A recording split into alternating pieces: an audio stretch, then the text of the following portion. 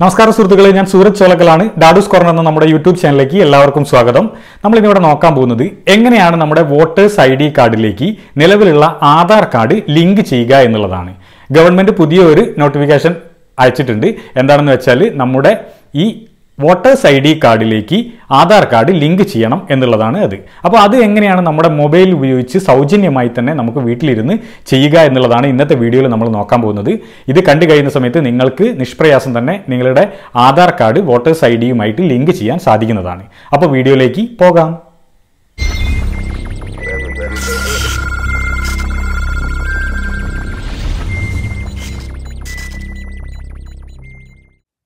Election I D കാർഡും ആധാർ കാർഡും link ചെയ്യുന്നതിനായി നമ്മുടെ മൊബൈൽ ഫോണിലെ പ്ലേ സ്റ്റോർ ഓപ്പൺ ചെയ്തതിന് ശേഷം അതിന്റെ സെർച്ച് ബാറിൽ വോട്ടർ ഹെൽപ്പ് ലൈൻ എന്ന് ടൈപ്പ് ചെയ്ത് സെർച്ച് ചെയ്യുന്ന സമയത്ത് വോട്ടർ ഹെൽപ്പ് ലൈന്റെ ആപ്ലിക്കേഷൻ വന്നിട്ടുണ്ടാവും. അത് ഇൻസ്റ്റാൾ ചെയ്യുക. ഇപ്പോൾ voter help line application install ആയിട്ടുണ്ട്. ഓപ്പൺ കൊടുക്കുന്നു. ഇത്തരത്തിലാണ് നമ്മുടെ മെനു കാണിക്കുന്നത്. വോട്ടർ ഹെൽപ്പ് ലൈൻ ആപ്ലിക്കേഷനിലേക്ക് നമ്മൾ കയറുകയാണ്. ഇത് സ്ക്രോൾ ചെയ്ത് വായിച്ച് നോക്കിയതിന് ശേഷം താഴെ കാണുന്ന ഐ എഗ്രി എന്നുള്ള ആ ടിക്ക് മാർക്ക് കൊടുക്കുക. നെക്സ്റ്റ് അടിക്കുക. അപ്പോൾ നമ്മുടെ ലാംഗ്വേജ് സെലക്ട് ചെയ്യാൻ പറയും. ഞാൻ ഇംഗ്ലീഷ് തന്നെ കൊടുത്തു. ഗെറ്റ് സ്റ്റാർട്ടഡ് എന്നുള്ളതിൽ ക്ലിക്ക് ചെയ്യുന്നു. ഓക്കെ ഇലക്ഷൻ കമ്മീഷൻ ഓഫ് ഇന്ത്യയുടെ ഒരു ആപ്ലിക്കേഷനാണ് ഇത്. നമുക്കിതിൽ വോട്ടർ രജിസ്ട്രേഷൻ കാണാൻ സാധിക്കുന്നുണ്ട്. ആദ്യം തന്നെ ഒരു മെനു അതിൽ ക്ലിക്ക് ചെയ്യുക. ഇതിൽ ഏറ്റവും അവസാനം കാണുന്ന electoral authentication form form six B എന്ന് പറയുന്നതാണ് നമുക്ക് Aadhaar card election I D കാർഡുമായിട്ട് link ചെയ്യാനുള്ള ഫോം അത് ക്ലിക്ക് ചെയ്യുന്നു. ഫോം സിക്സ് ബി എന്നുള്ളത് ക്ലിക്ക് ചെയ്യുന്ന സമയത്ത് ഇത്തരത്തിലുള്ള ഒരു മെനു ആണ് വരുന്നത്. അതിന്റെ താഴെ കാണുന്ന ലെറ്റ്സ് സ്റ്റാർട്ട് എന്നുള്ളതിൽ ക്ലിക്ക് ചെയ്യുക. നമ്മുടെ മൊബൈൽ നമ്പർ ചോദിക്കും. നമ്മുടെ മൊബൈൽ നമ്പർ എന്റർ ചെയ്ത് സെൻഡ് ഒ ടി പി എന്നുള്ളതിൽ ക്ലിക്ക് ചെയ്യുക. ഒരു ഒ ടി പി നിങ്ങളുടെ മൊബൈലിലേക്ക് വരും.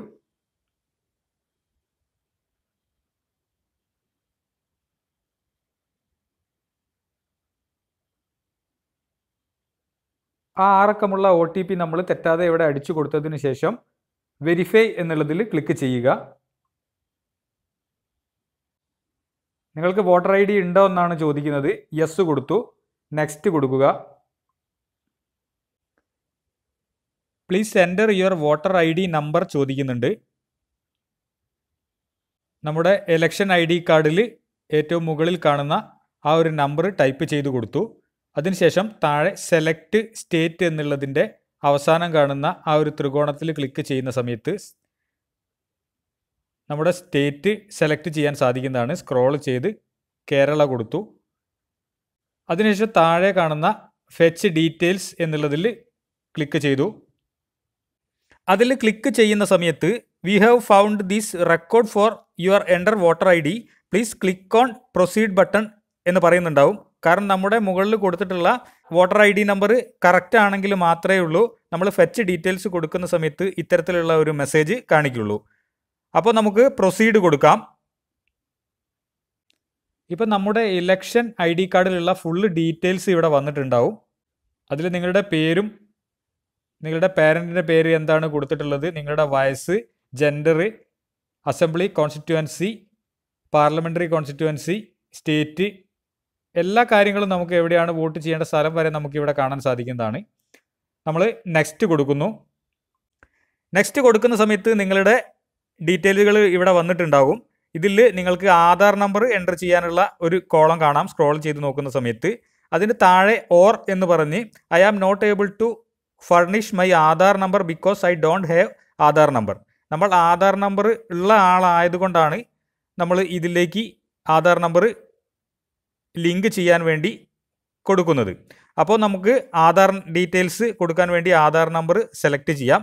ഇനി അതല്ല നിങ്ങളുടെ ആധാർ നമ്പർ എന്റർ ചെയ്യാൻ നിങ്ങൾക്ക് ബുദ്ധിമുട്ടാണെങ്കിൽ താഴെ കാണുന്ന കോളത്തിൽ ടിക്ക് ചെയ്ത് കഴിഞ്ഞാൽ നമുക്ക് താഴെ ഡോക്യുമെന്റ് പോസ്റ്റ് ചെയ്യാനുള്ള ഒരു കോളം കാണാം അപ്ലോഡ് ചെയ്യാനുള്ള. അതിൽ J P G J P G ഫോർമാറ്റിലുള്ള photo ആയിരിക്കണം.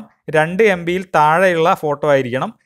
നിങ്ങളുടെ എന്തെങ്കിലും ഒരു ഐ ഡി പ്രൂഫ് ഇവിടെ അപ്ലോഡ് ചെയ്താൽ മതിയാകും.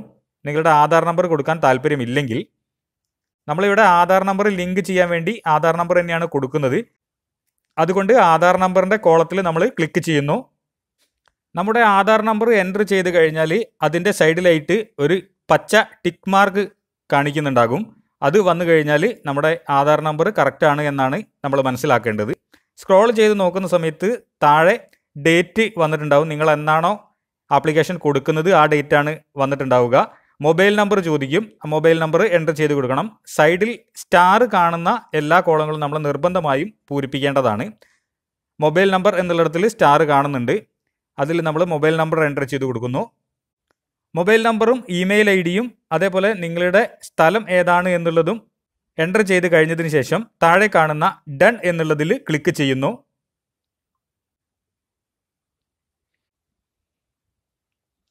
ഇപ്പോൾ അതിന്റെ പ്രിവ്യൂ വന്നിട്ടുണ്ട്.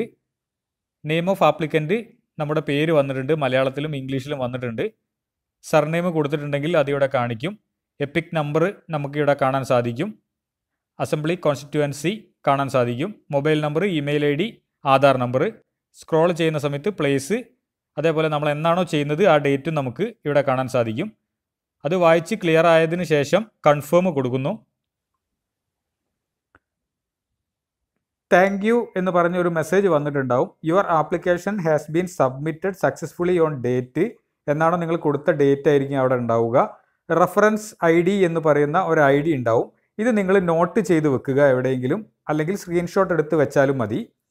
കാരണം നമുക്ക് നമ്മുടെ സ്റ്റാറ്റസ് ട്രാക്ക് ചെയ്യാൻ ഈ റെഫറൻസ് ഐ ഡി നിർബന്ധമാണ്. അതിനുശേഷം ഓക്കെ കൊടുക്കാവുന്നതാണ്. ഇനി നമ്മൾ നമ്മളിപ്പോൾ കൊടുത്തിട്ടുള്ള ആപ്ലിക്കേഷൻ ചെക്ക് ചെയ്യുകയാണ്. അതായത് ആധാർ നമ്പറിന്റെ ഡീറ്റെയിൽസ് നമ്മൾ കൊടുത്തിട്ടുണ്ട്. അത് നമ്മുടെ ഇലക്ഷൻ ഐ ഡി കാർഡിലേക്ക് ആക്കാൻ വേണ്ടിയിട്ട് കൊടുത്തതിന്റെ റിസൾട്ട് എന്താണ് എന്നുള്ളത് ചെക്ക് ചെയ്യുകയാണ്. എക്സ്പ്ലോർ എന്ന് പറയുന്ന ആദ്യത്തെ ആ താഴെ കാണുന്ന ഓപ്ഷനിൽ ക്ലിക്ക് ചെയ്യുക. അതിൽ ഒരുപാട് ഓപ്ഷനുകളുണ്ട് നമുക്ക് സ്റ്റാറ്റസ് ഓഫ് ആപ്ലിക്കേഷൻ എന്ന് കാണുന്നത് ക്ലിക്ക് ചെയ്യുക. നേരത്തെ എടുത്തു വെച്ചിട്ടുള്ള റഫറൻസ് ഐ ഡി ഈ കോളത്തിൽ അടിച്ചു കൊടുത്തതിന് ശേഷം ട്രാക്ക് സ്റ്റാറ്റസ് എന്നുള്ളത് ക്ലിക്ക് ചെയ്ത് കഴിഞ്ഞാൽ നിങ്ങളുടെ സ്റ്റാറ്റസ് നിങ്ങൾക്ക് അറിയാൻ സാധിക്കുന്നതാണ്. ഈ ഒരു വീഡിയോ നിങ്ങൾക്ക് മനസ്സിലായി എന്ന് കരുതുന്നു. എന്തെങ്കിലും സംശയങ്ങൾ ഉണ്ടെങ്കിൽ നിങ്ങൾ കമന്റായിട്ട് രേഖപ്പെടുത്തുക. കൂടാതെ നമ്മുടെ ചാനൽ ഇത്തരത്തിലുള്ള ഇൻഫോർമേറ്റീവ് ആയിട്ടുള്ള വീഡിയോകളാണ് അപ്ലോഡ് ചെയ്തുകൊണ്ടിരിക്കുന്നത്. ഇത്തരത്തിലുള്ള വീഡിയോ പെട്ടെന്ന് തന്നെ നിങ്ങൾക്ക് ലഭിക്കുന്നതിന് വേണ്ടി സബ്സ്ക്രൈബ് ചെയ്തതിനോടൊപ്പം തന്നെ ബെൽ എനേബിൾഡ് ചെയ്ത് കഴിഞ്ഞാൽ നോട്ടിഫിക്കേഷൻ ആയിട്ട് നിങ്ങൾക്ക് പെട്ടെന്ന് തന്നെ കിട്ടുന്നതാണ്. ഇത്തരത്തിലുള്ള നല്ല ഒരു ഇൻഫോർമേറ്റീവ് ആയിട്ടുള്ള വീഡിയോകളുമായി വീണ്ടും കാണുന്നതുവരെ എല്ലാവർക്കും നന്ദി നമസ്കാരം.